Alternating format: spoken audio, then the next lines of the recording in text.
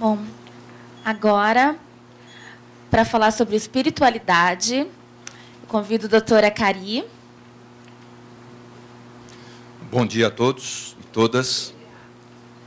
Dia lindo, espetacular. Um agradecimento especial a essa associação, a Brela. Vamos comentar a respeito de Brasil, terra de todos os santos e crenças. Primeiro, agradecimento. Agradecimento aos nossos mestres, à equipe neuromuscular, agradecimentos às associações que trabalham em conjunto, às atividades todas que são feitas em conjunto também. Um agradecimento especial aos pacientes, seus familiares, seus cuidadores. E pode apagar a luz aqui um pouquinho, pode ser? Nós vamos comentar a respeito de crença. Guardem esse slide. Esse slide ele vai representar tudo no final depois. Então, ou seja, vejam só o que está acontecendo aqui. Um banquinho, uma moça, e nós temos um cachorro aqui. E assim é a nossa vida. Ou seja, eu queria ter a força desse banquinho e a fé desse cachorro. A vida é assim, força e fé. Tempo todo. Tempo todo. É do mesmo jeito. É assim nós vamos entrar nas crenças. O que, que é crença? O que, que é? No que, que vocês acreditam? Por exemplo. E por que, que acreditam? Por exemplo, eu sou caipira. Eu nasci numa cidade muito grande, que somando os moradores do cemitério, 15 mil habitantes, a cidade. E a minha infância foi em sítio. Eu nunca misturei leite com manga. Deu certo na infância, na adolescência, na idade adulta, deu certo até agora. Não vai ser agora que eu vou testar diferente. Isso é crença do que aparece. E assim vem em relação ao mundo. Como que começou o nosso mundo? Aí tem-se uma história. Nosso mundo começou há 15 bilhões de anos com a teoria do Big Bang. Essa teoria aconteceu uma explosão determinada e essa explosão determinada criou aquilo que se chama luz. Mas aquilo no começo era só hidrogênio. Tinha um núcleo, em volta dele um elétron, aí um tentava fugir, outro tentava segurar, energia produzida para segurar desse jeito, até que chega um certo momento que o núcleo não consegue segurar mais o elemento periférico e ele foge e tem dois elétrons agora. Um núcleo elétron duplicado, dois, era hidrogênio vira hélio. E assim vai acontecendo essa briga do núcleo com a periferia, do núcleo periferia, quebra de novo, quatro elementos, é um outro elemento, e assim a cadeia carbônica ela vai crescendo, que é a criação do universo. Vai crescendo, Aí vem nitrogênio, vem outros elementos, e assim nós vamos ter aquilo que se chama o mundo inicial, o mundo primordial.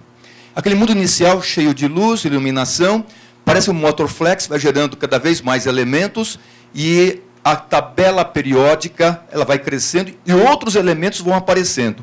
E assim vai se formando aquilo que se chama o universo. Mas não é um universo, são outros universos, são multiuniversos.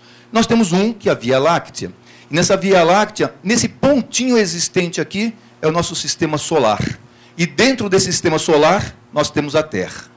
Ou seja, e dentro dessa condição toda, parece que vida, como nós conhecemos, só existe aqui na Terra. Será que é isso mesmo?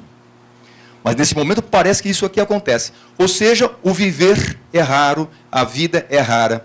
Ou seja, é algo extremamente improvável que aconteça algo único e improvável e imprevisível. Isto é a vida. E a vida ela vem, portanto, daquela condição até que chega agora e tem um escrito maravilhoso das estrelas à vida. O universo ele é regido por fenômenos que repetem o ciclo de formação, evolução, declínio, desintegração. Tudo começou com o hidrogênio. Da morte dele, a vida de outros elementos também. O universo é uma forma de vida que possui, de uma forma inerente, o poder de reviver. Num certo momento, lá naquele universo, existiam três elementos: o hidrogênio, o carbono e o nitrogênio, que juntos eles dão o ácido cianídrico. E naquela nuvem de ácido cianídrico, nada cresce. Não tem vida, nada. Mas cinco moléculas de ácido cianídrico juntas, elas formam algo muito interessante, uma base chamada adenina.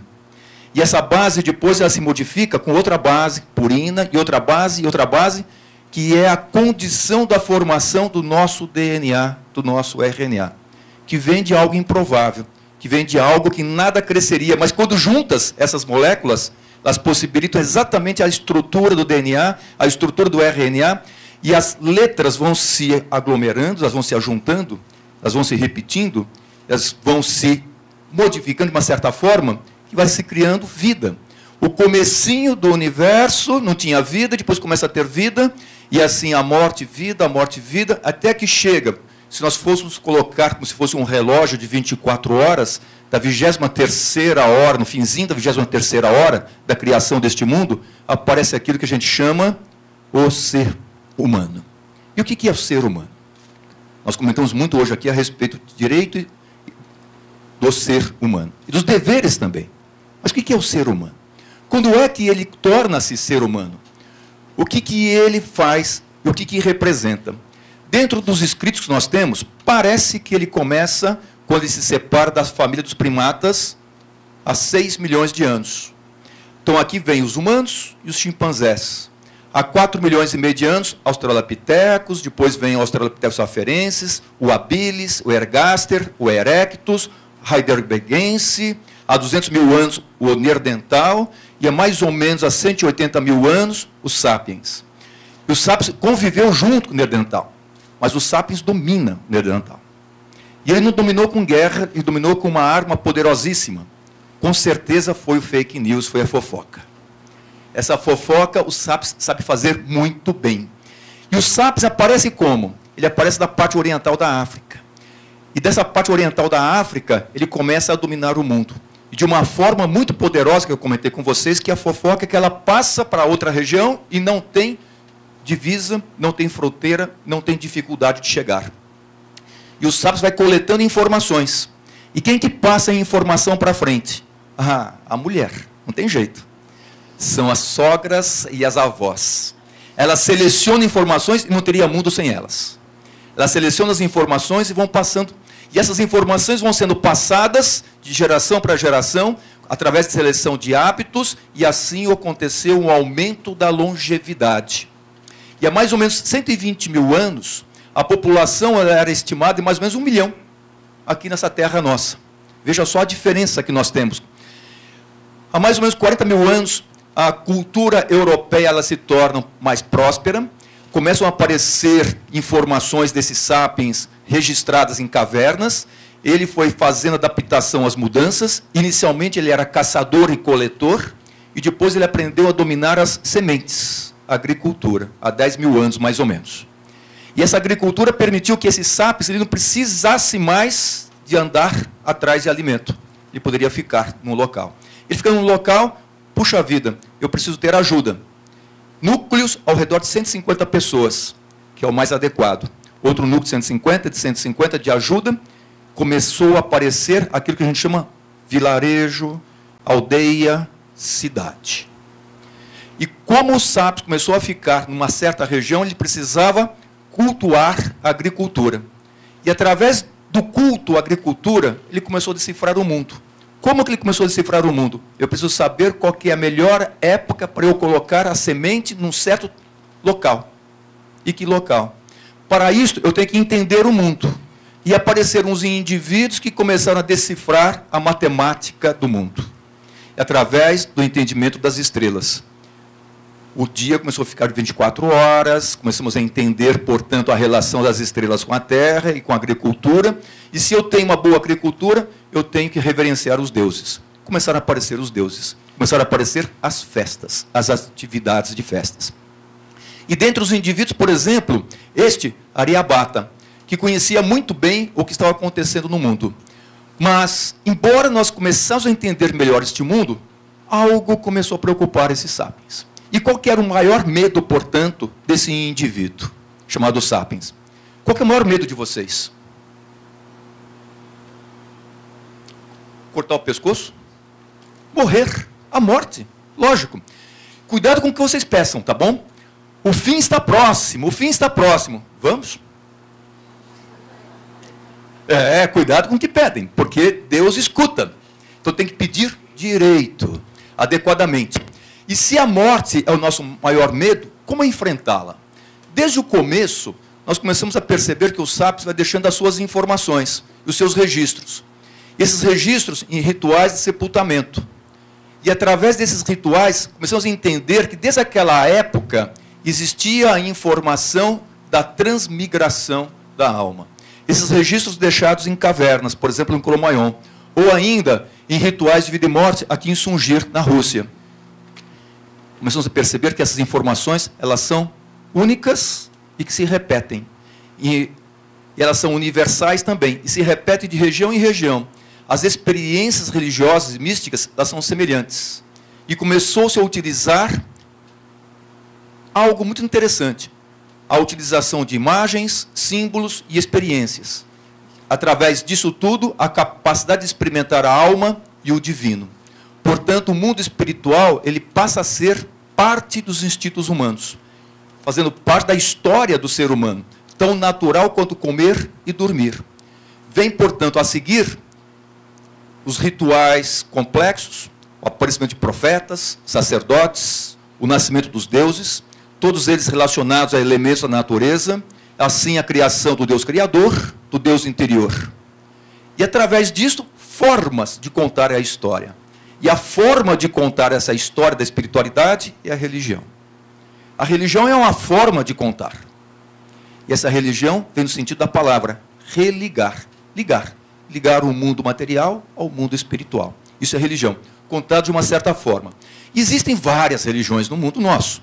Mas qual é a diferença entre todas estas? E qual é a semelhança entre todas estas? E elas estão muito bem relacionadas à condição de ligar os humanos a um Deus, a um Deus criador. Em um certo momento começa a aparecer um Deus criador. E esse Deus criador, ele se encontra nas palavras também. E como que o ser humano descobriu Deus criador? Por exemplo, na palavra, o português. O português ele veio do proto-indo-europeu, que é uma língua que vem desta região aqui, olha, da parte do Oriente Médio. E dessa língua ela vem para a Europa, e da Europa depois para os romanos, para os portugueses, até que chega ao Brasil. E dessa língua proto-indo-europeia tem uma palavra, uma palavra chamada dizios. E essa palavra chamada de do proto-indo-europeu, ela passa da Mesopotâmia e vai para a Grécia. E de significa pai da luz, ou seja, aquele que criou a luz. E o mundo veio da luz, portanto, é o criador do mundo.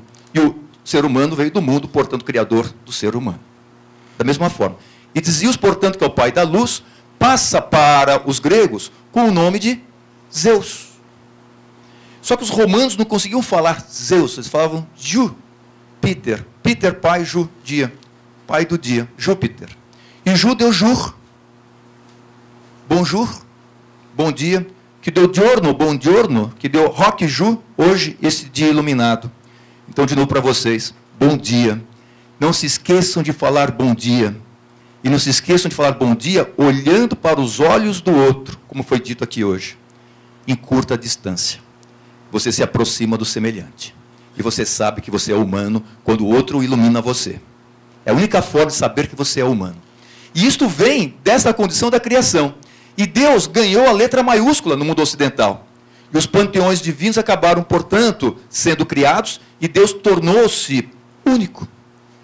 E dentro dessa condição do único, ele vai habitar um local sagrado, que é aquela região que a gente conhece hoje como Israel aquela região que a gente conhece hoje, que tem uma cidade, cidade importantíssima, chamada Jerusalém. E que é uma cidade sagrada, que é a mais disputada da história, e tem as suas religiões monoteístas também.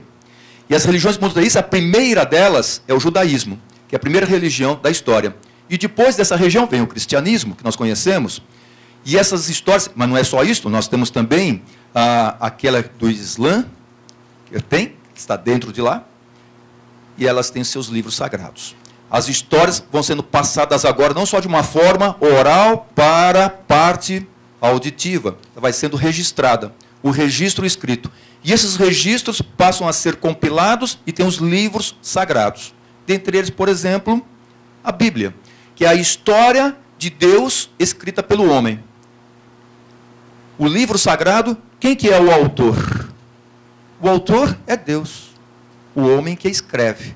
Escreve a escrita dele. E qual é o propósito? E quando foi feito?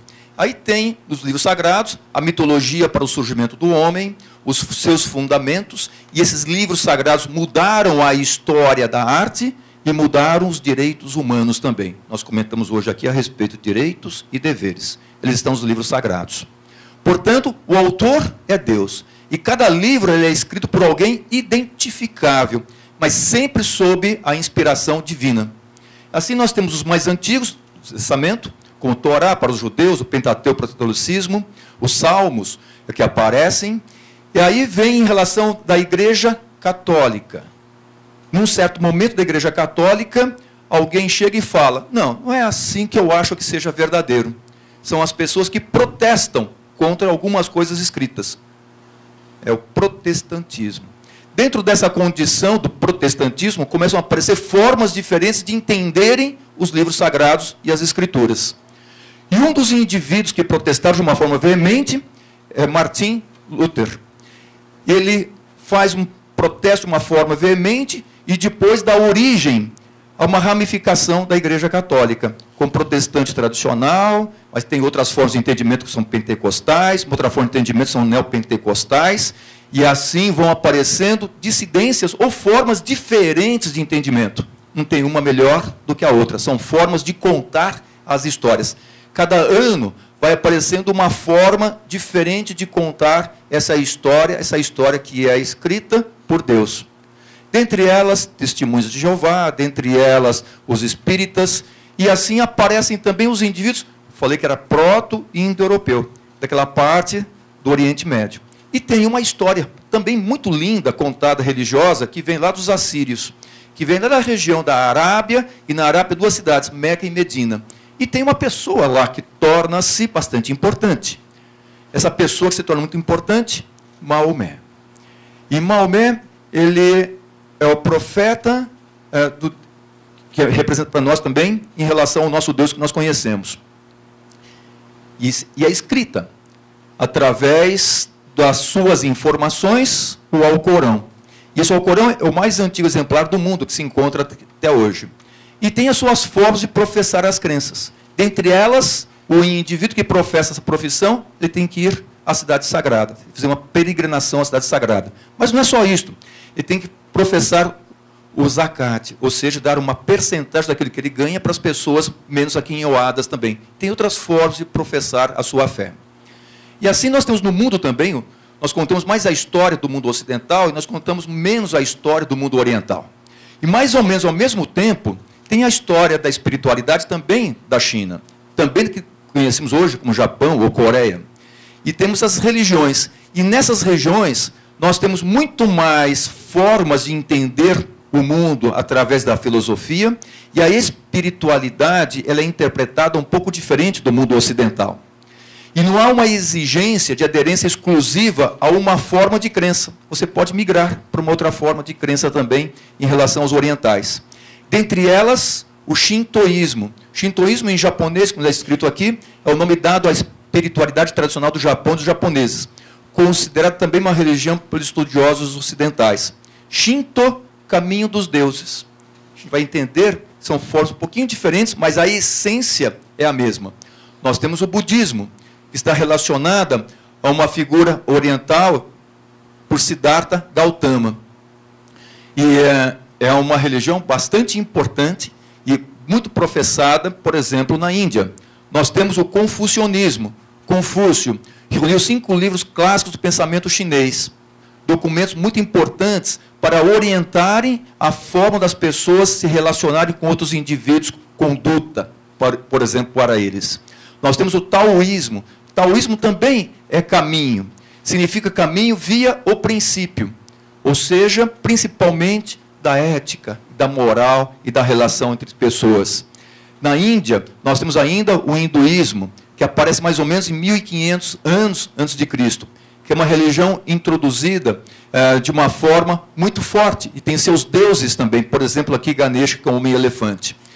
Se formos ver a religião no mundo, no mundo o que mais predomina ainda no mundo é a religião católica, juntamente com colocando-se aqui os católicos, os evangélicos, os cristãos, representam mais ou menos 33%. Os muçulmanos, 22%. e outras formas de nós interpretarmos o que se chama a experimentação da espiritualidade, dentre elas do divino. E nós estamos falando agora da América do Sul. Na América do Sul, quando é que o ser humano chega na América do Sul? Parece que há 12 mil anos, ou 13 ou 14 mil anos, de acordo com as escritas. O sítio mais antigo é na região do Chile, que nós conhecemos. Mas e no Brasil? O sítio mais antigo registrado no Brasil é no Piauí, na Serra da Capivara. Aqui no Parque Nacional da Serra da Capivara é um local espetacular, onde nós temos umas pinturas rupestres na Serra da Capivara, e ela representando mais ou menos há 12 mil anos antes de Cristo esta representatividade. E assim estavam as pessoas. E quando nós contamos a respeito da história do Brasil, parece que tudo começa em 500, 1500, com, com Pedro Álvares Cabral. Mas o Brasil já estava aqui antes. E o povo brasileiro já se encontrava bem antes de Pedro Álvares Cabral. Mas a nossa história começa sempre com Pedro Álvares Cabral, 22 de abril. E a história vem das caravelas, vem das naus. Essa história dentro dos navios pessoas, pessoas que tentam fazer uma modificação de conhecimento, cultura e entendimento daqueles povos que cá estavam. E aqui existiam na época muitos povos diferentes indígenas brasileiros. E dentre esses povos, aquele que tem uma raiz chamada Tupi. E Tupi, aí deu depois Tupinambá, Tupiniquim, Tupiminós, Tupiguaés, então do Tupi. E os índios tupis, como que eles contam a história da criação do mundo? Do mesmo jeito que nós estamos contando agora. O mundo veio da luz. O mundo ele veio de alguém que criou a luz e da luz veio depois a floresta, da floresta veio o homem. Ou seja, na mesma sequência, o homem não veio primeiro. Ele veio depois da floresta.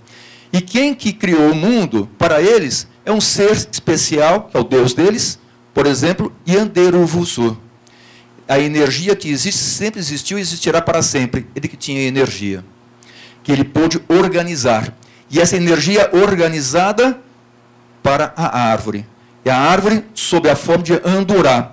E olha só que interessante. Lá no Antigo Testamento, existe também uma árvore fantástica e surreal, que à noite se inflama de uma forma súbita, se parece bastante com a forma através da qual Deus judaico-cristão se comunica com seus profetas os índios fazem do mesmo jeito, da mesma forma. E dessa árvore é que veio o ser humano. Isso é em relação à crença deles. E os jesuítas chegam aqui agora. Eles têm as suas crenças e eles tentam fazer o quê? Trazer a crença deles para os povos que cá se encontravam, trazendo o catolicismo. É feita a organização jesuíta, eles saem daquele, daquela condição de conforto, por exemplo, a praia, sobem a serra e chegam em São Paulo e criam um núcleo, o pátio do colégio, que é o começo da cidade de São Paulo. E lá no pátio do colégio eles tentam fazer o quê? Ensinar aos índios uma outra crença, ou uma pequena modificação da crença que eles têm. É o catolicismo. São as missões jesuítas, que são os evangelizadores. E a forma de evangelizarem, qual que é? A criação do capeta. É lógico. Deus é único. Só que para fazer com que a pessoa professe uma outra fé é fazer com que você tenha um capeta que quer levá-lo lá para as profundezas e eu estou aqui para tirá-lo daquela tentação malévola, daquela tentação horrorosa que se tem. E assim há uma luta grande contra a nudez, contra a antropofagia, contra a poligamia, ou seja, contra o espírito primitivo de crenças e rituais, tentando colocar as suas crenças para esses povos. E aqui no Brasil chega uma outra situação interessante. Essa outra situação, mão de obra era necessária, os índios eram um pouco resistentes a essas modificações, foi mais fácil trazer uma outra população, os negros. E os negros eles vieram de certas regiões da África, principalmente da região ocidental da África. E esses negros vieram para o Brasil. Na verdade, eles foram trazidos contra a vontade ao Brasil. E aqui eles chegaram nas suas regiões e eles trouxeram as suas culturas também, as suas religiões. E quando nós falamos em religião africana, são as religiões de matriz africana, são várias essas religiões, todas elas têm a sua forma de contar o seu mundo, mas o interessante, a forma é a mesma. Ela vem da mãe natureza. E através da materialização dessa mãe natureza, tem os elementos depois que vão ser incorporados por aquilo que é chamado ser humano. E cada elemento deste tem o seu representante. seus representantes são seres, são seres importantes. E esses seres são cantados e são contados através de música, através de dança, através de comportamento e através de alimentação também, que se tem. E ocorre essa escravização, portanto, nós temos uma história belíssima que foi dada para o Brasil pelos sudaneses, de Benin, da Nigéria, de, Tom, de Togo, pelos bantos do Congo, Angola, Moçambique. Portanto, nós temos as nações africanas dentro do Brasil. E a luta deles contra essa escravização era feita através das suas histórias. Histórias através da dança, da música, da alimentação, da religião. E o Brasil recebeu cerca de quase 5 milhões de escravos. É a maior população brasileira que veio. Veio dos escravos. E só no Rio de Janeiro, quase é, dois quintos dessa população que veio. Aí, mais ou menos 300 mil escravos morreram a caminho do Rio de Janeiro. Nós temos, portanto, um débito bastante grande com esta população. Quando se fala na mitologia dos deuses africanos, nós vemos semelhanças com deuses da mitologia grego-romana, através de valores morais, estado social adquirido e interpretações da natureza. Exemplo, Hermes, aquele que podia ir para o inferno e voltar, que tinha asas, asas. Na africana, Exu. Hades, que era o Deus Todo-Poderoso do submundo, Zé Pilintra. Hecate, Pombagira. E assim vai. Ou seja, existe uma conexão entre essas condições. E a forma de contar a história pode vir através do candomblé. Candomblé significa casa de negros, ou seja, casa dos negros. E naquelas fazendas havia necessidade de contar essa história. Daí aqui vem a casa do negro, ou seja, candomblé. Você tem que crê em um Deus onipresente e politeísta, no sentido de que há diversos deuses e esses vinculados a elementos da natureza. Sempre com elementos da natureza.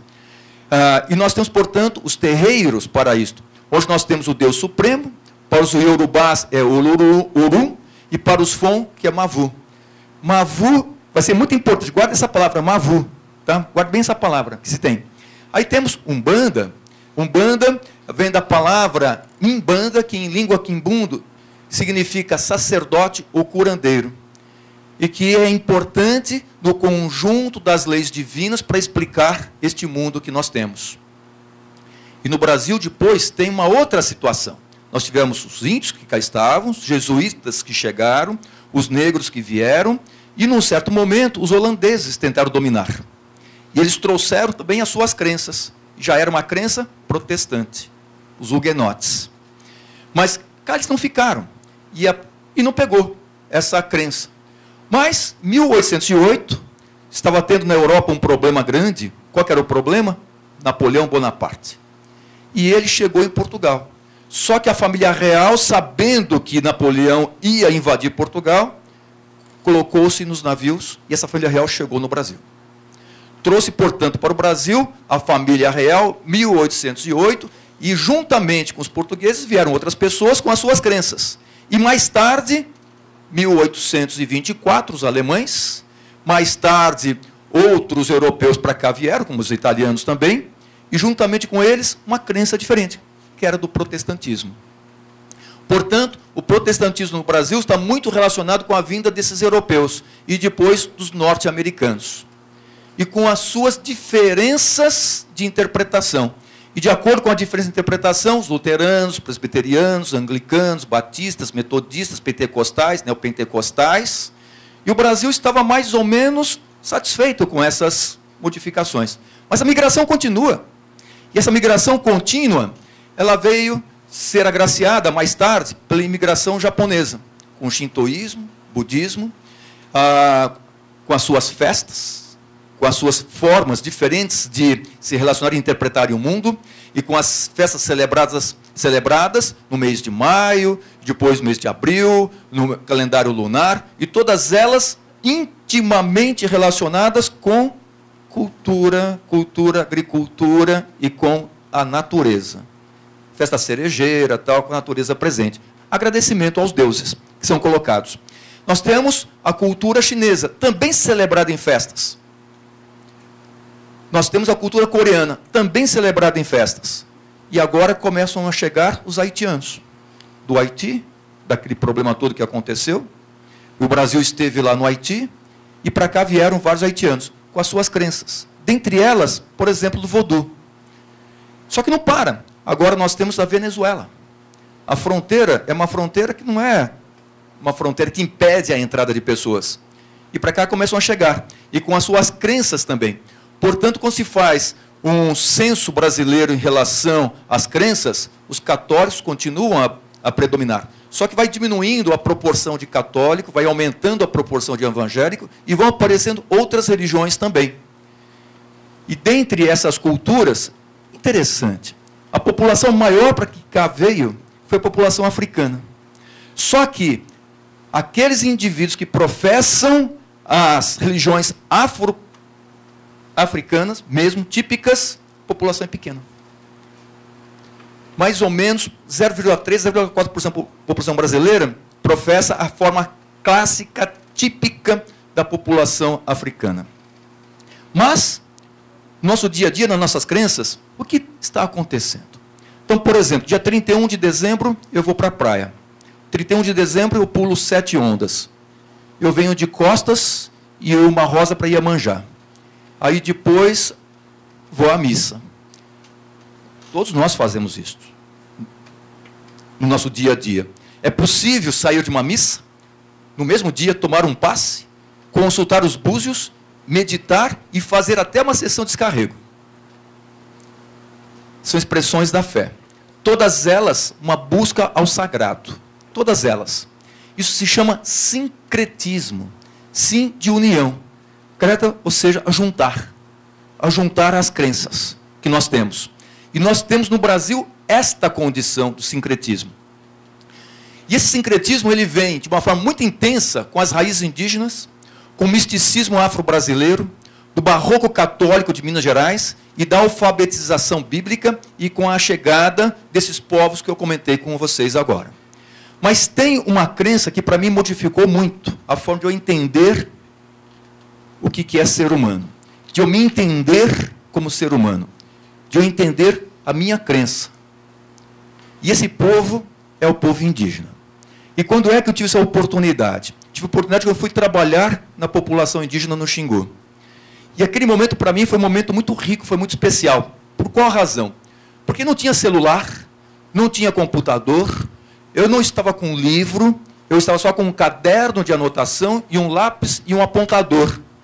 Eu comecei a perceber que eu gostava de escrever, registrar as informações, só que eu estava apontando muito lápis. Portanto, daí para frente eu tinha só um lápis e só um caderno, comecei a escrever bem pequenininho e, e apontando bem devagarzinho para não perder aquele lápis. E as anotações que eu fui fazendo, elas foram trazendo sentido para mim.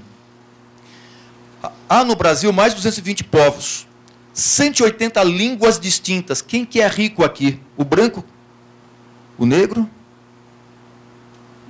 o europeu ou o índio? Quantas línguas nós falamos? Eles falam mais de 180 línguas diferentes.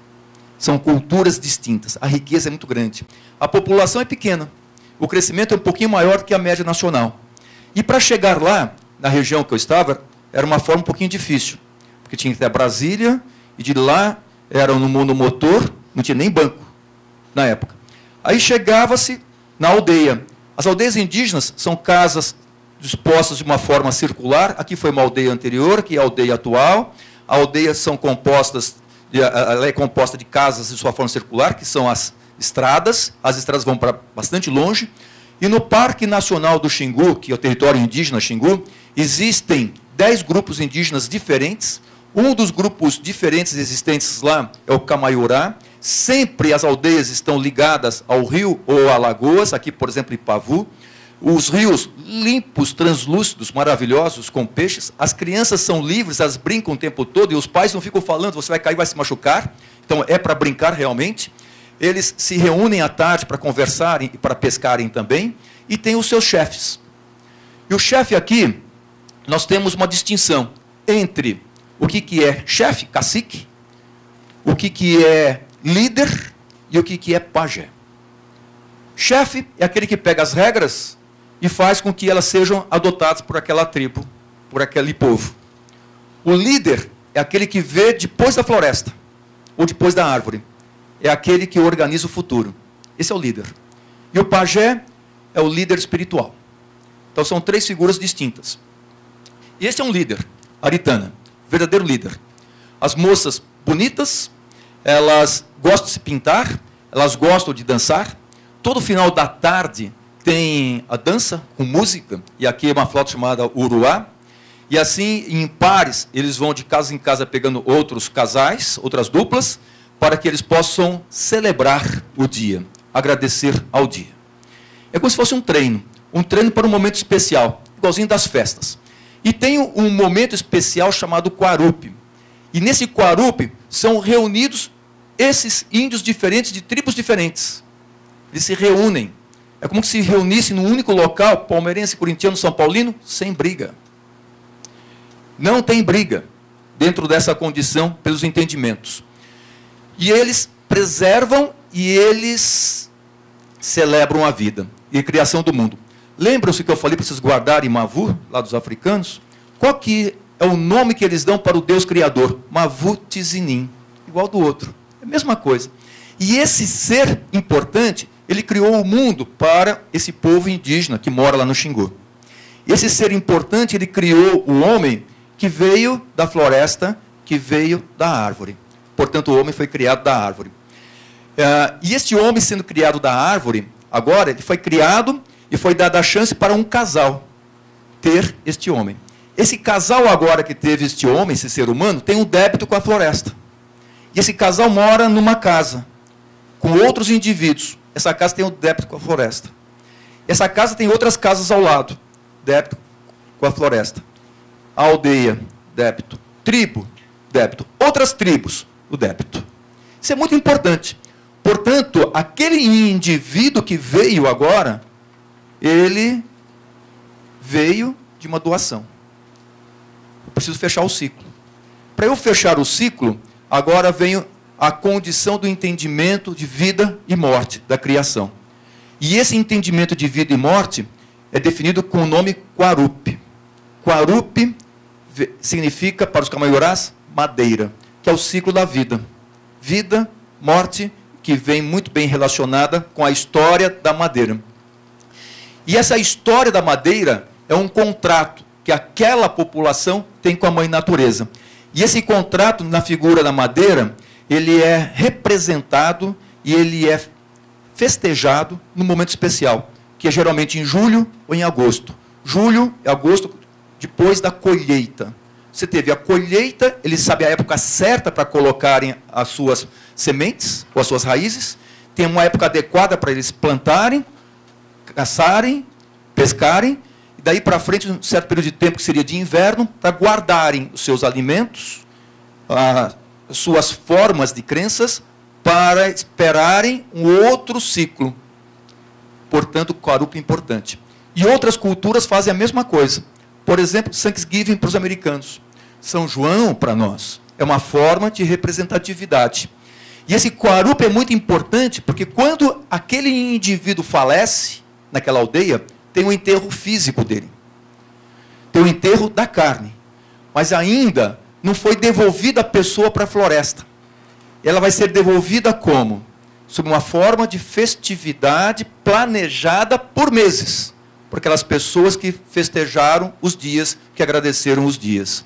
E quando chega no momento certo de devolverem a alma para a floresta, aí eles vão na floresta, cortam uma árvore, trazem o tronco de árvore, e eles agora põem esse tronco de árvore no meio daquela aldeia, fazem uma escultura nela, pintam de acordo com a pintura, sabe-se se foi uma figura masculina ou se foi uma figura feminina que faleceu. E agora essa figura ela é representada com mechas de algodão. Quanto mais espessa a mecha, mais importante foi aquela pessoa do ponto de vista de organização daquela aldeia. Essa pessoa agora, ela começa a ser cantada e contada, não só pelas pessoas da sua tribo, mas com pessoas de outras tribos também por dois dias ou três dias e três noites sem parar. E esse é um momento muito importante, porque não tem escrita indígena, mas é assim que eles passam as informações de uma pessoa para outra, de uma geração para outra e de uma tribo para outra. E aquela história é contada, é uma história da família, é uma história da vida, é uma história daquela tribo. Deixa muito forte. E é uma cadência o dia todo e a noite toda. E em julho e em agosto, nessa região, de dia 34, 35 graus, à noite 8, 9, 10 graus. Portanto, tem que ficar próximo de fogueira para passar esse período. E depois que é feita a cantoria toda, essa alma está preparada para ir para a floresta. Então ela começa a fazer parte do panteão daqueles importantes. E essa alma agora, ela está na aldeia boa. Ele vai velar por aquela aldeia. Ele vai verificar. Ela vai fiscalizar aquela aldeia. E durante a noite, os moços fortes, eles se pintam. Eles se pintam esperando o amanhecer, e no amanhecer, outros indivíduos de outras tribos se reúnem. E esse se reunir agora é no sentido de fazer a luta. Luta contra o oponente.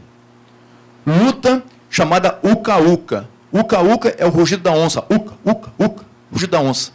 E tem uma luta muito interessante que parece um pouco com o sumô, parece com a luta greco-romana, que parece. Tem um golpe vencedor que é jogar a pessoa de costas no chão. Outro golpe vencedor da onça, a onça o que, que ela faz? Ela, ela domina a caça através da garra. Quando ela traz a pata e a sua caça para ela. Ou seja, se colocar a garra na região posterior da caça, a caça está dominada. Então, em relação à luta, é a mesma coisa. Eles tentam pegar a região posterior da coxa do adversário, não do inimigo do adversário. Se eles conseguirem colocar os dedos na região posterior da coxa, aquele que coloca o dedo na região posterior da coxa, que ganha a luta. O interessante não é o indivíduo que sente que ele coloca os dedos na porção posterior da coxa do adversário que fala que eu ganhei. É o indivíduo que se vê tocado que fala, você ganhou. Não é que eu perdi. Por que, que ele tem que falar isto? Porque os deuses estão vendo aqueles indivíduos que fazem parte da história, eles não deixam mentir. É a ética. Não tem VAR. Para nós, nem com VAR o cara aceita que ele colocou a mão na bola. Não, não aceita. De jeito nenhum. E lá, e assim, as lutas são feitas, aí tem os campeões, e depois abre-se luta para todos. Dá mais ou menos 500 lutas no dia. Sem briga, nada. Acabou a luta masculina, que é uma festa da força, aí vem a festa da mulher. A menina ela é fechada por um certo período de tempo na sua casa, quando ela é adolescente.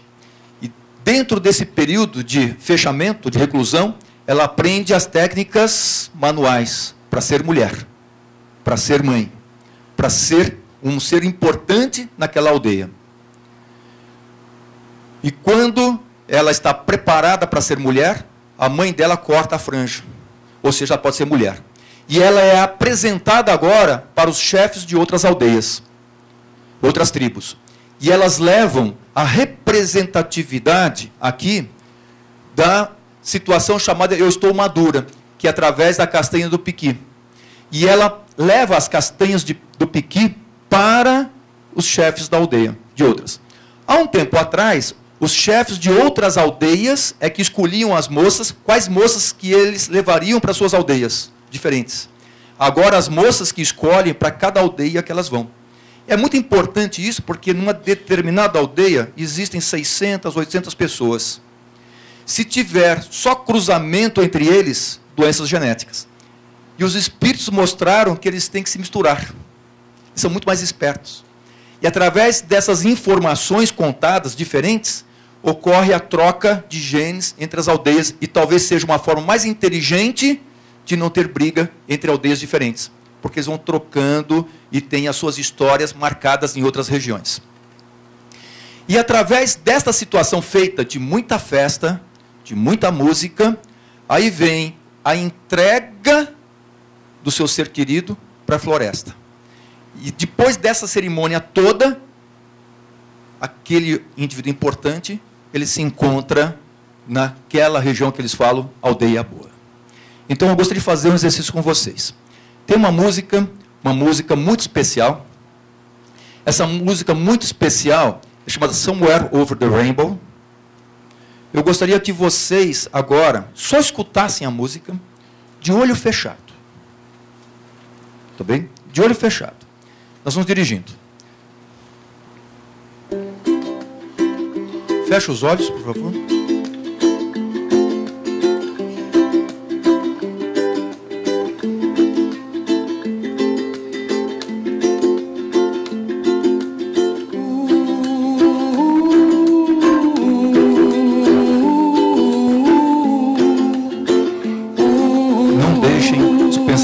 Ruins entrarem na cabeça.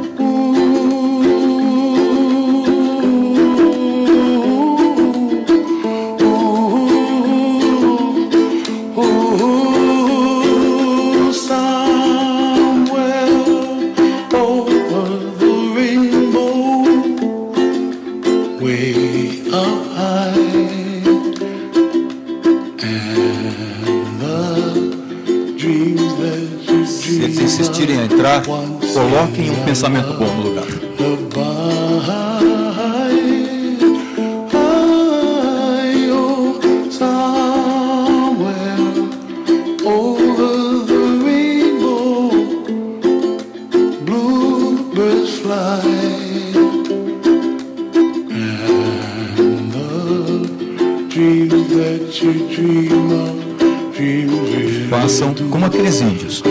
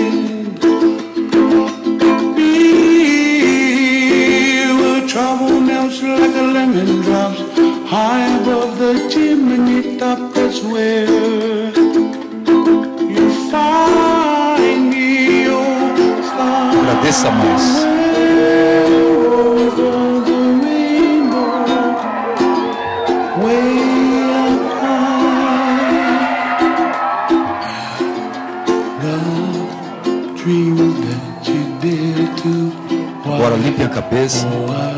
Tirem todos os sentimentos não adequados, ruins. Enchem o coração de grandeza, de amor. Assim é o Quarup. O Quarup, o que, que ele faz? Ele lembra alguém, ele substitui alguém, ele faz a passagem do indefinido para o estruturado do cosmos, ele mantém viva a lembrança das origens, ou seja, da criação dos primeiros seres humanos, quando a morte não era conhecida, ele apaga a presença da morte, repondo a vida com um outro ser vivo. Esse é o mundo xinguano. Isso para mim foi espetacular, maravilhoso. Antes do Quarup, eu sofria muito, em relação ao maior medo de perder os entes queridos. E depois deste Quarup, eu comecei a perceber que a forma mais rica que tem para se não ter medo é invocar os momentos todos que nós temos com alegria, com felicidade e sem receio que o próximo momento será mais fácil. Sem receio. E assim nós vamos vendo que há realmente um sincretismo. Dentro desse sincretismo, em relação aos povos africanos, a palavra Ubuntu, que significa simplesmente a humanidade para os outros, ou sou o que sou pelo que nós somos. Uma pessoa, uma pessoa através por meio de outras pessoas. A interação entre as pessoas faz com que nós sejamos vivos e para sempre vivos nós temos.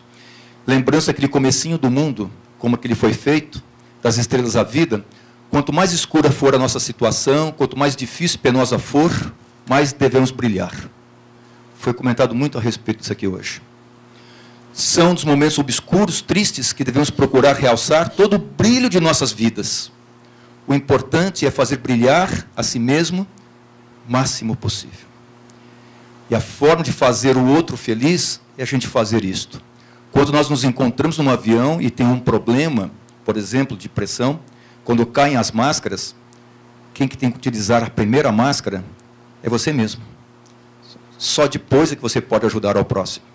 Então, ou seja, você tem que brilhar o máximo possível para poder ajudar o próximo. E também fazer como que aquele planeta grande chamado Júpiter, ele faz. Ele é o maior planeta do sistema solar. O período de revolução dele é de 12 anos, da Terra é um ano.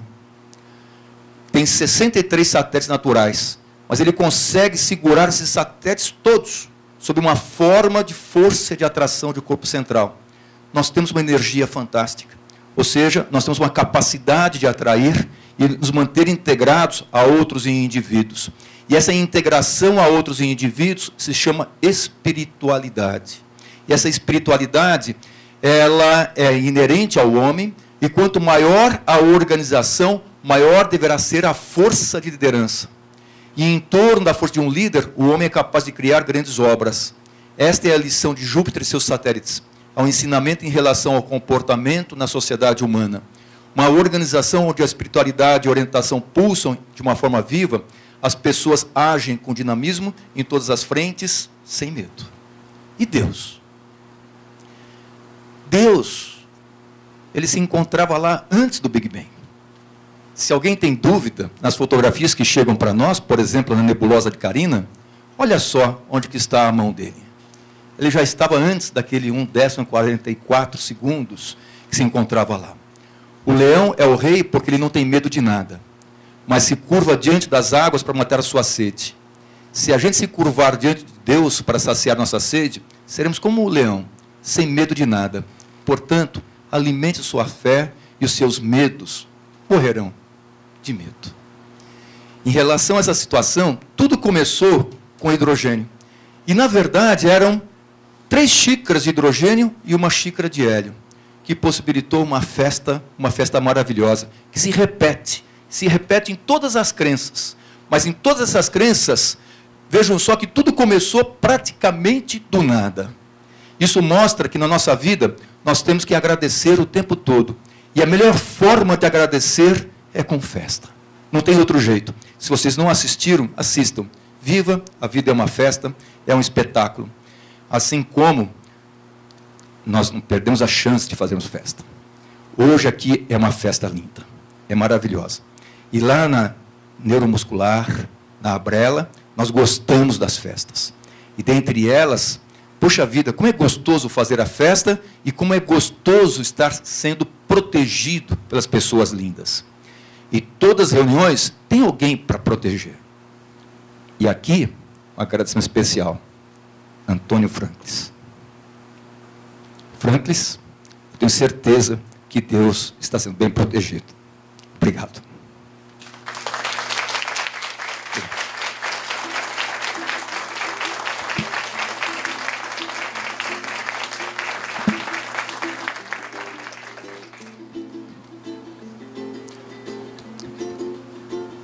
Um agradecimento especial a vocês.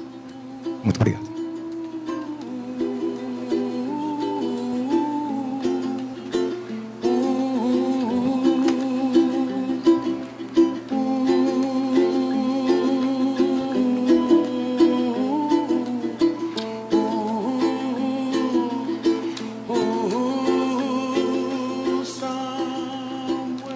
Obrigada, doutora Caribe.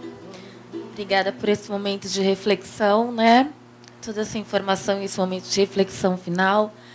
E essa homenagem ao Frank Mumu, que se foi essa semana, para a gente foi uma perda grande, mas que merece toda a homenagem da gente. E uma pessoa que vai estar sempre no coração de todos que passaram por lá, né, por tudo que ele fez.